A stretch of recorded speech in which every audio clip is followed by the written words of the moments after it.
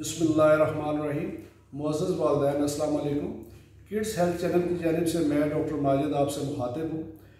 मैं फौजी foundation hospital Jhelum में कंसल्टेंट चाइल्ड स्पेशलिस्ट हूँ।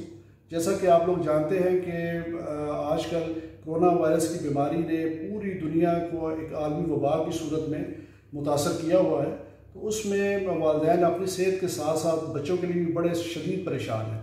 तो इसलिए मैंने डिसाइड किया कि आज मैं बच्चों में कोरोना वायरस की बीमारी के बारे में बात करूँगा। तो सबसे पहले आया देखते हैं कोरोना वायरस बीमारी क्या है, जिसको कोविड नाइन्टीन भी कहा जाता है। तो कोविड नाइन्टीन चार लफ्ज़ों का मुहफ़ है, जिसमें C O corona V I virus D disease disease है, और नाइनटीन का मतलब है दो हज़ार उन्नीस, जब ये बीमारी नमदार हुई। और ये बीमारी कोरोना वायरस जिसका असल नाम सार्स कोरोना वायरस टू है, इससे होती है।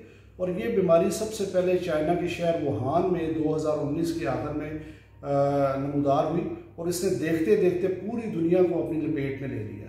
और अब ये एक आलमी वबा की सूरत इख्तियार कर चुकी है। इसमें एक सौ सतासी ममालिक जो है वो मुतासर हैं। लाखों लोगों को ये बीमारी मुतासर कर चुकी है। लाखों अमवात भी हो चुकी हैं। पाकिस्तान भी इन मुतासर ममालिक में शामिल है और इसमें भी हज़ारों लोगों को ये बीमारी हो चुकी है। तो आया देखते हैं कि बच्चों में इस बीमारी की नोयत क्या है। आया ये बच्चों में ये बीमारी ख़तरनाक है या नहीं? तो सबसे पहले ये देखते हैं कि बच्चों में इस बीमारी की शरह क्या है। तो खुशकस्मती से बच्चों में इस बीमारी की शरह दो से तीन परसेंट है। इसका मतलब ये है कि अगर सौ मरीज़ हैं वायरस के, कोरोना वायरस के तो उसमें दो या तीन सिर्फ़ बच्चे होंगे इस बीमारी के। और उनमें भी, बच्चों में भी बीमारी की शिद्दत और अलामत बहुत कम होती हैं। तो लेकिन इसमें एक इंपॉर्टेंट बात जो हमें समझनी है कि क्योंकि इन बच्चों में अलामत भी कम होती हैं, शिद्दत भी कम होती है तो ख़ुद तो शायद इनमें बीमारी इतनी ख़तरनाक साबित ना हो, लेकिन ये बीमारी अपने बड़ों तक, जैसे दादा, दादी, नाना, नानी, वालदेन तक पहुँचाने में बहुत अहम किरदार अदा कर सकते हैं।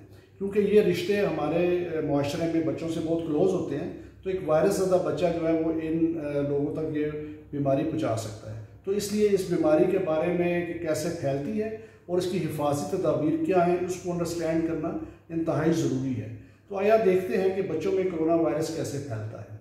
तो उसमें सबसे पहले तो ये है कि अगर बच्चे ने किसी वबाई इलाके में सफ़र किया हो, बच्चा का कांटेक्ट या किसी वायरस ज़्यादा शख्स के नज़दीक रहता हो, या वो वायरस ज़्यादा शख्स है उसने खांसी या छींक जो बच्चे के बहुत क्लोज़ की है तो वो जो उसके बुहारात हैं, जो उसके मुँह से निकले हैं वायरस ज़्यादा बीमार शख्स से तो वो जो बुहारात है, वो बच्चे की सांस या नाक की नाली में चले गए हैं।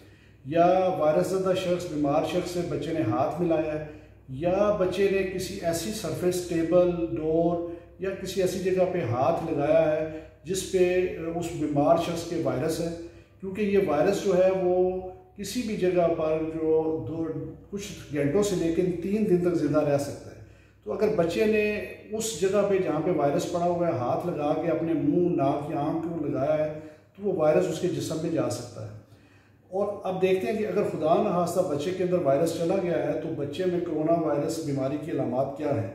इसमें बुखार, खांसी, थकावट, सांस लेने में दुशारी सूंघने और चखने की हिस्स का कम या ख़त्म होना, पट्ठों में दर्द, खिंचाव, सर दर्द और बाद सूरतों में दस्त भी हो सकते हैं। तो जिसम के जो मुतासरा हिस्से हैं, उनमें सबसे ज़्यादा जो अहम है या ज़्यादा कॉमन मुतासरा हिस्सा है, वो है फेफड़े। अलबत् गुर्दे भी मुतासर हो सकते हैं शरीर बीमारी की सूरत में, और कुछ सूरतों में दिल, दिमाग और अंतड़ियाँ भी मुतासर होती हैं। तो जो पचीदगी है इस बीमारी की, वो है, जो सबसे ज़्यादा जानलेवा है, वो है नमोनिया और गुर्दों का फेल होना। ये इस बीमारी की जानलेवा पचीदगियाँ हैं। अब देखते हैं कि इस बीमारी की तशखीस कैसे की जाती है।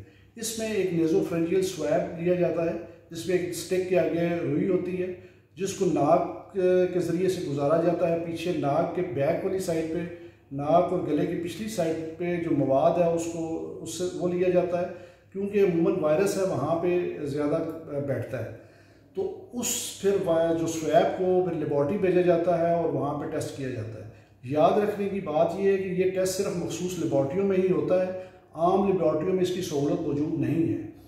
तो अब देखते हैं कि इस बीमारी का इलाज क्या है। तो तशवीश की बात यह है कि इसमें कोई अभी तक मुस्ंद इलाज या वैक्सीन जो है, वो अभी तक दरियाफ़ नहीं हो सकी। हाँ अलबत् एक्सपेरिमेंट्स जारी है। तो उम्मीद है कि नियर फ्यूचर में ये इसका इलाज भी आ जाएगा और वैक्सीन भी आ जाएगी। तो तब तक अभी जो जो इसका इलाज, वो इस तरह करते हैं कि अगर तो हल्की बीमारी है जिसमें सांस लेने में कोई मुश्किल नहीं है, खाली बुखार, खांसी है तो उसके लिए सिर्फ़ पैरास्टामोल दी जाती है, नीम, गर्म पानी कावा यही प्रेस्क्राइब किया जाता है। हाँ लेकिन अगर बच्चे को बुखार हो, खांसी हो, सांस लेने में दुशारी हो तो फिर मेरा मशवरा होता है कि फौरी तौर पर अपने डॉक्टर से कंसल्ट करें, नज़दीकी डॉक्टर से, ताकि अगर उसको ऑक्सीजन की ज़रूरत है तो बच्चे को ऑक्सीजन दी जा सके। और ये सिर्फ़ एक हॉस्पिटल सेटअप में मुमकिन है, एक घर में इस, ये नहीं हो सकता। तो जैसा कि मैंने आपको बताया है कि इस बीमारी का ना तो कोई मुस्ंद इलाज है, ना वैक्सीन है तो इसका सबसे बेहतरीन तरीका ये है कि इसमें एहतियाती तदाबीर जो की जाए और एहतियाती तदाबीर से इस बीमारी को कंट्रोल में किया जाए। तो जो ज़्यादा स्ट्रेस किया जाता है, जिसमें पूरी दुनिया में और मीडिया भी और सारे लोग स्ट्रेस कर रहे हैं, उसको बोलते हैं सोशल डिस्टेंसिंग सोशल डिस्टेंसिंग का मतलब यह है कि आपस में मुनासब फासला, कि एक से दो मीटर का फासला। क्योंकि ये ज़रूरी है, क्योंकि होता ये है कि ये वायरस है, ये तकरीबन अगर किसी को खुदा न खास्ता हमें नहीं पता और उसके अंदर वायरस मौजूद है तो वो बात कर रहा है, ये खांस है तो ये सिर्फ़ तीन फुट तक जाता है, उसके बाद ये नीचे गिर जाता है। तो इसलिए मुनासिब बात यह है कि तीन फिट से दूरी से बेहतर है कि एक दूसरे से रहा जाए ख़ास करके उन लोगों से जिनको खांसी, नज़ला, ज़ुकाम है तो फासला मेंटेन रखा जाए। हाथ में लाने से ग्रेज करें और खांसी करते वक्त जो है वो कूनी का इस्तेमाल करें इस तरह। और अगर टिशू से आपने जो है वो इस तरह दाग साफ़ किए तो उसको फौरी तौर पे आप डस्टबिन में फेंक दें। तो उसको दोबारा यूज़ नहीं करना। और हाथ से फिर मुँह, नाक और आँख को छूने से परहेज़ करें। हाथ को बार बार 20 सेकंड तक साबुन से धोएँ। और अगर सैनिटाइज़र हो तो सैनिटाइज़र भी आप इस्तेमाल कर सकते हैं, लेकिन उसमें ज़रूरी है कि 60 से 80 परसेंट अल्कोहल होना ज़रूरी है। और इसके अलावा आप अपने बच्चों को जो है वो जो पुरहजूम जगह पर लेके जाने की कोई ज़रूरत नहीं है। मार्ट होगी प्लेइंग एरियाज़ हैं या शॉपिंग एरियाज़ हैं, उनमें कोई ज़रूरत नहीं है बच्चों को लेकर जाने की। हाँ अगर बहुत आपको मजबूरी है, बहुत ज़रूरी है बच्चे को लेकर जाना भी है तो एक आप दो साल से ज़्यादा बच्चे से लेके बड़ों तक आप मास्क इस्तेमाल करें, ठीक है? मास्क ताकि अगर खुदा न खास्ता किसी और को, किसी और शख्स को वो बीमारी है तो वो आप तक या आपके बच्चे तक ट्रांसफ़र ना हो सके। और लेकिन इसके साथ साथ जो मैं आपको बताऊँगा कि सबसे जो ज़्यादा अफेक्टिव जो तरीका है, एहतियाती तदाबीर का, वो ये है कि आप अपने घर में रहें। गैर ज़रूरी तौर पर घर से बाहर जाने की ज़रूरत नहीं है। बच्चों को घर में रखें और बच्चों को कोई प्ले प्लेइंग के लिए वीडियो गेम्स या खिलौने पर ला कर दें ताकि बच्चे वो घर में रह सकें और ताकि घर में रहें और ताकि आपके बच्चे महफूज रहें। तो उम्मीद है कि मेरी ये वीडियो आपको इन्फॉर्मेटिव लगी होगी और अगर इसके बारे में आप कोरोना वायरस की बीमारी के बारे में कोई भी क्वेश्चन है तो आप अपने कमेंट्स में लिखें। इंशाल्लाह मैं उसको आंसर करूँगा। तो अगली वीडियो में इन जो अपलोड करूँगा वो होगी बच्चों में कब्ज़ की बीमारी के बारे में। तो आप मेरा चैनल सब्सक्राइब कर सकते हैं ताकि जब मैं अगली वीडियो अपलोड करूँ तो वो आप तक जल्दी पहुँच सके। तो थैंक यू वेरी मच अल्लाह हाफिज़।